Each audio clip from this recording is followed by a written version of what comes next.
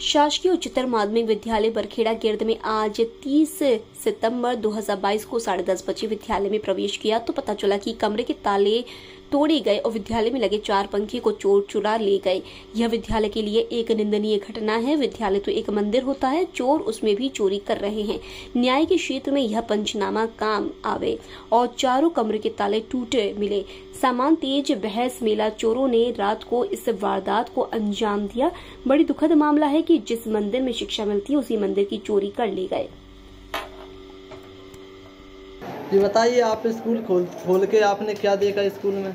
मैं स्कूल में खोल के जे ऑफ़िस का ताला खोला जो ताला लग रहा था और हमारे स्टाफ रूम का भी ताला लगा हुआ था उसे भी खोला और गेट देखे तो उसमें लात मार के गेट खुले हुए हैं।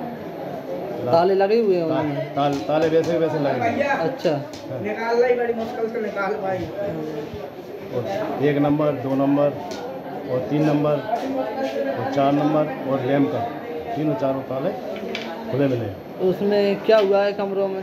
कमरों में पंखे चले हैं। पंखे चारों पाँच चार कमरे में से पंखे गए हैं? हाँ चारों चारों कमरों में पंखे हैं। और कुछ? बस पंखे पंखे हम्म, लैम्प हाँ लैम्प और क्या क्या बताया आगे?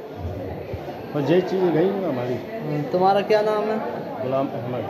हम्म, कौन से जगह है जी स्कूल? जी। कौन से गाँव में स्कूल है बड़खेड़ा के।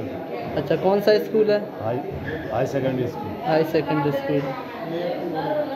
और लैम्प लैम्प लैम्प भी खुला मिला है। अच्छा तो कितना नुकसान हुआ है?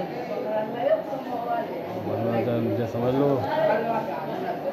आठ दस हज़ार का नुकसान हम्म, पंखे चले गए सारे हैं? तो जो बच्चे हवा में बैठ के पढ़ते थे शांति से अब वो ऐसे ही बैठे होंगे? ऐसे ही बैठे हैं। अच्छा। बिना पंखे के। चलो ठीक है।